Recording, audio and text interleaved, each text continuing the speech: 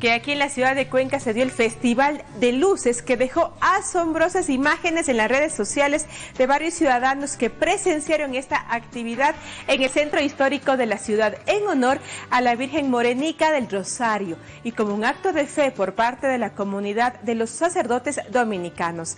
Además, la Fundación Turismo de Cuenca difundió en sus redes sociales videos de la actividad que destaca por las luminarias colocadas como evocación de la forma de la corona y de otras alegorías de la Virgen. Conozcamos más detalles de esta celebración tradicional que se desarrolló como parte de la Navidad. Veamos.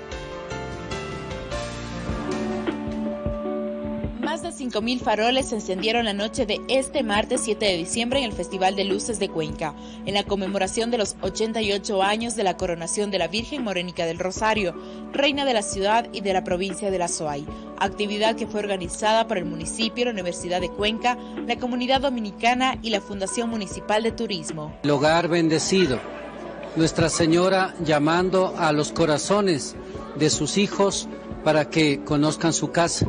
La plazoleta de Santo Domingo y el patio del convento de la comunidad dominicana se iluminaron, como sucede desde hace 13 años, en esta celebración que reunió a feligreses y turistas desde las 18 horas. Consolidando en la ciudad y nos da un gusto enorme saber que este año lo hemos podido hacer nuevamente. Vemos a muchas familias cuencanas respetando protocolos de bioseguridad, visitando eh, el Festival de Luces. Y sin duda lo que no podía faltar, los usuarios en redes sociales, quienes compartieron imágenes del Festival de Luces que iluminó el cielo cuencano y marcó el inicio de la Navidad. Además, con esta festividad se busca seguir reactivando el turismo y la economía del sector céntrico de la urbe.